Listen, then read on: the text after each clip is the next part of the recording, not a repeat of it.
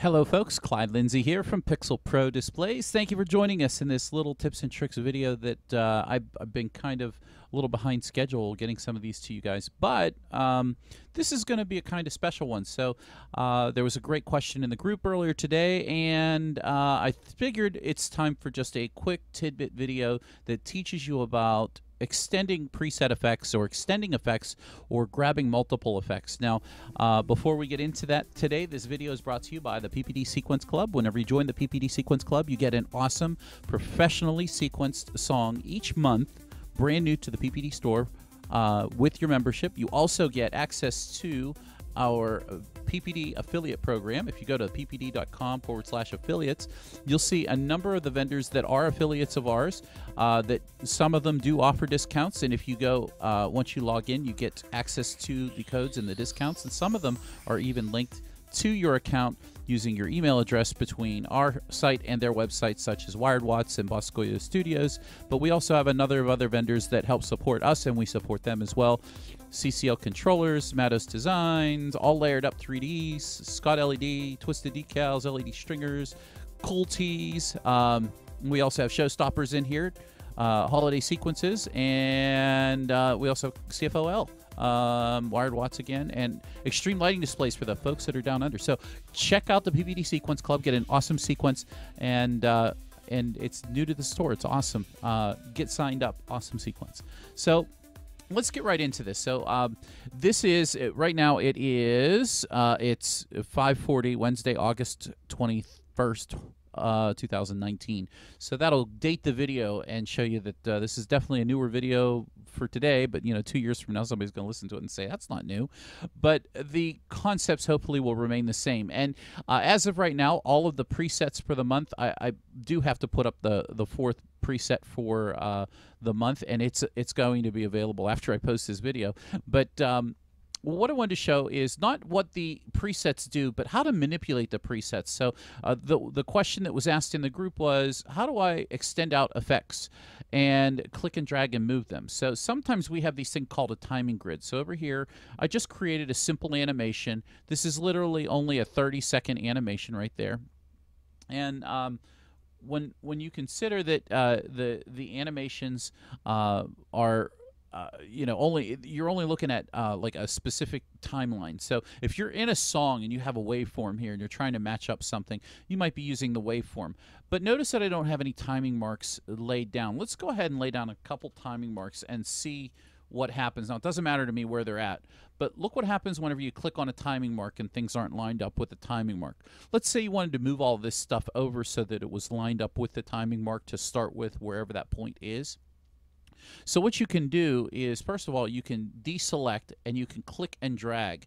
So if no timing marks are are selected at all over here, you can click and drag and select all the all highlighted effects, and then holding the Shift key on your computer, on your on your um, uh, keyboard that is, and hovering over the right side or the left side, you can grab these. And notice the timeline's going with me. I don't want to do that. So let's Let's try re-grabbing that. That's kind of funny.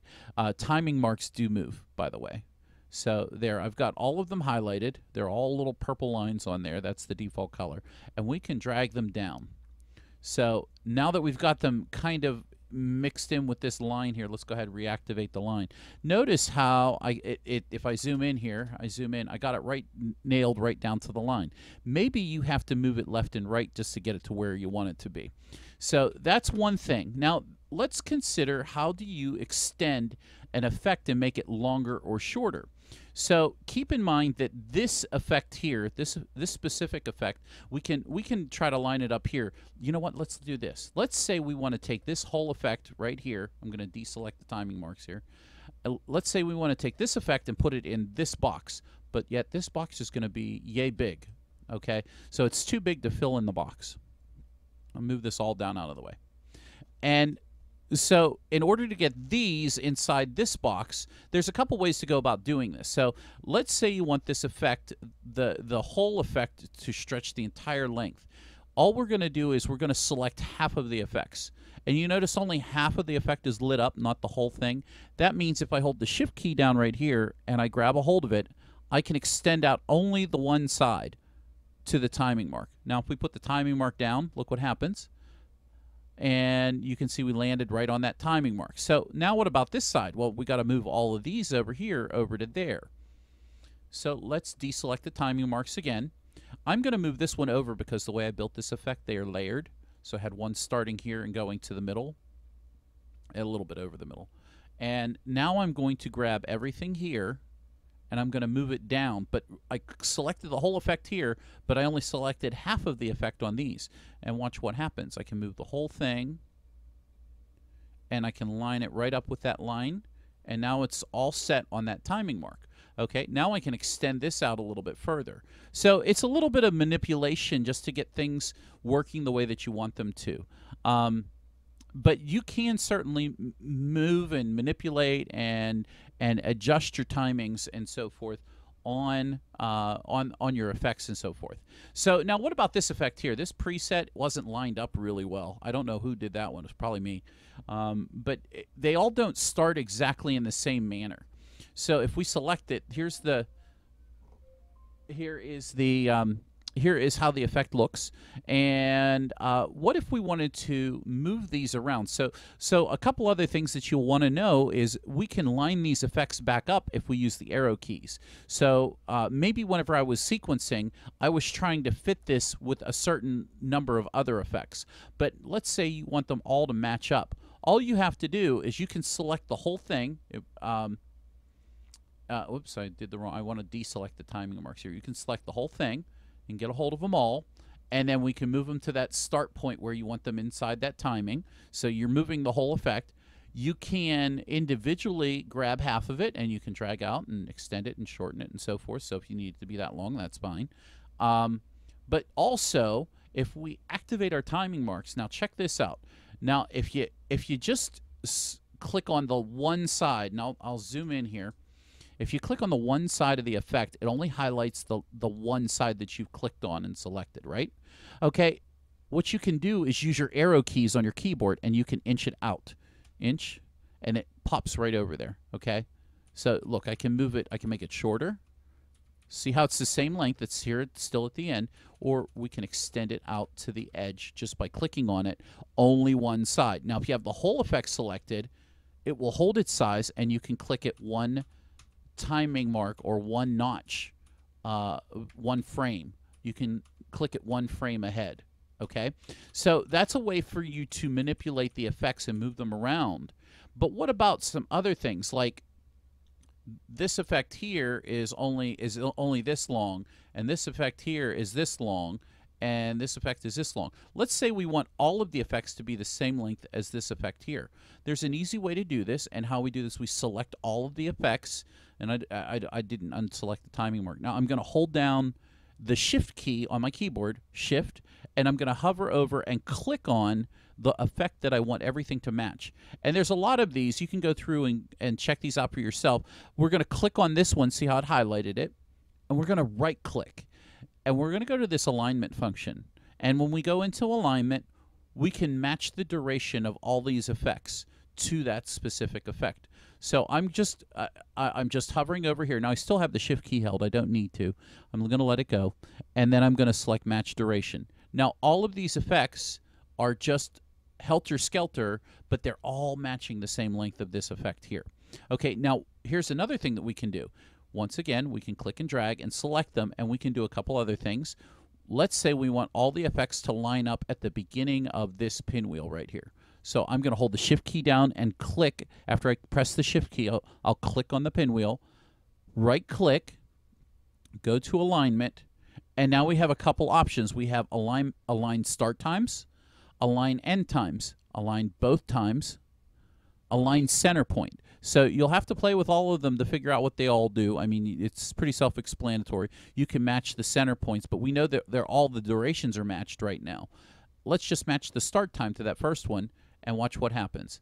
It moved all of the start times to here, but now, oh, what happened? It shortened all these effects. So what we can do is we can come over here and make this the length that we want it. We can, once again, click and drag, hold the shift key down, click on the effect that you want everything to match, we can right click and we can hit alignment and then we can do match duration. And now you've successfully created all of your effects in the same length. Now, this does take some practice. The hard part is remembering, okay, select everything first, hold the shift key down, step number two. Step number three is select the effect that you want to uh, uh, arrange and then if when they're all the same it's not really going to do anything with alignment but see how it says start times align end times if these are different sizes and we've already kind of aligned them and so forth that's the hard part is remembering click and drag hold the shift key down find the one that you want everything to emulate off of and click on it click on the edge once it's highlighted that opposite color right click alignment and that opens up this menu. If you don't hold the shift key down, here's what's going to happen.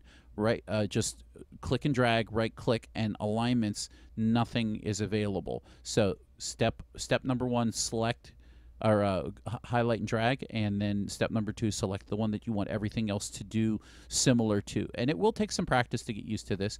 It, it does take some finesse. After a while, you do get used to it, and then you have the options to make these alignments and so forth. So that's your tips and tricks for today. I know this is rather uh, a little longer than I wanted to go, and I went into a lot more detail this time, but um, I feel it's important that you get kind of a full story, especially whenever we're getting into sequencing season, getting the show set up and everything. So, uh, like this video if you like it, share it with the crazy Christmas light friends if you love it. Remember to hit the subscribe button on the bottom right hand side of the screen right now. I added that cool little ribbon there. And uh, get subscribed, hit the bell for notifications so you know when we get an awesome new video out to you guys. And as always, join the Facebook PPU Pixel Pro University Facebook group to get answers to your questions uh, answered professionally and quickly and happily. So, guys, thanks for joining us. And again, if you appreciate these videos and you want to see more content like this, please consider joining our PPD Sequence Club. That shows us that you support our channel and you support the things we do here at Pixel Pro Displays, not just for the lighting community, but for everybody in general. So, thank you for joining us, and we will see you in the next video. Down through the chimney with those and me. Sam, and every time it rains, it rains.